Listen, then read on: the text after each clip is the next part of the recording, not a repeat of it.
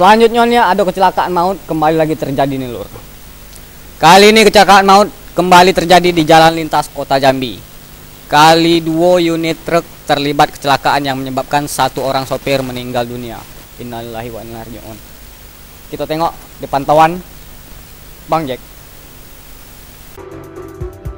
Peristiwa kecelakaan di Jambi kembali terjadi. Sopir truk batubara yang terlibat kecelakaan di lingkar selatan Talanggulo meninggal dunia di lokasi kejadian usai adu kambing dengan mobil truk pengangkut sawit. Korban diketahui berinisial AA, warga Gumpe Ulu, Kabupaten Muaro Jambi.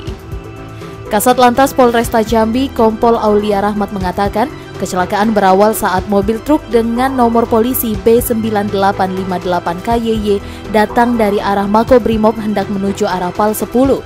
Sesampainya di dekat SPBU Talanggulo, mobil truk hendak melewati kendaraan yang berada di depan arah tempuhnya dengan menggunakan jalur kanan.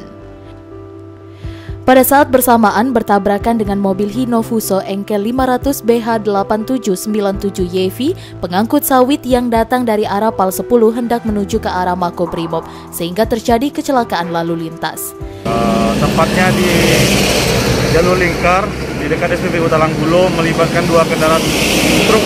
Yang pertama mobil Hino Fuso, mobil Fuso dengan mobil truk Hino, mobil engkel. Oke, ada korban bang akibat kecelakaan ini bang?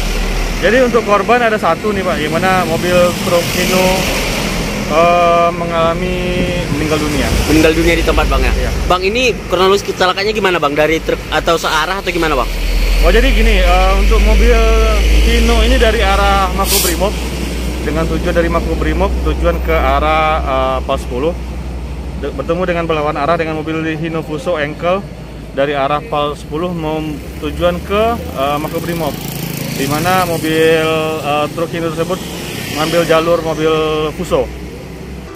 Dimas Sanjaya, Cek TV, melaporkan.